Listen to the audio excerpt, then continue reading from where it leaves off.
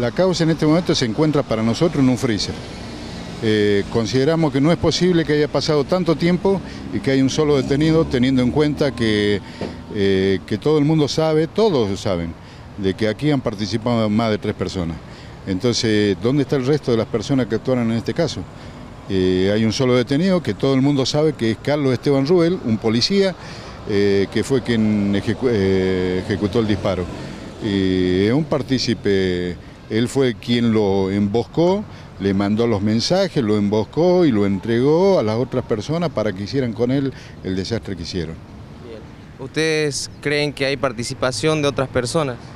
Eh, no, no, creemos, estamos súper convencidos. No lo puede haber hecho una sola persona esto y de la forma que, fue y, y, dejar el cuerpo donde lo dejaron y, que esto no, no, salga a la luz, no, no tener más eh, más participantes del caso, no, una sola persona. Mi hijo eh, era un, joven grandote, con mucho volumen, digamos, por decirlo, eh, entonces no lo puede haber maniobrado una sola persona y haberlo dejado donde lo dejó, y haberle hecho todas las cosas que le hicieron y haberlo hecho desaparecer casi 24 horas. ¿Qué piden a la justicia? No, nosotros justamente eso es lo que pedimos. Primero, que encuentren al resto de, los delincuentes, asesinos que hicieron esto.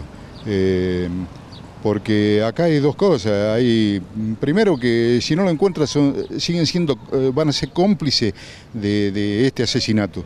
Lo único que pido y he pedido para la Navidad a Dios que le toque el corazón a alguno de ellos que han sido partícipes de semejante semejante dolor a mi hijo, que les toque el corazón el Señor y que alguno de ellos pueda decidir hablar y que piensen que dejaron dos niñitos de dos y siete años sin su papá y que ellos todos los días, el nene de siete años todos los días espera a su papá, creyendo que está en una obra, en un gasoducto y que en algún momento va a llegar.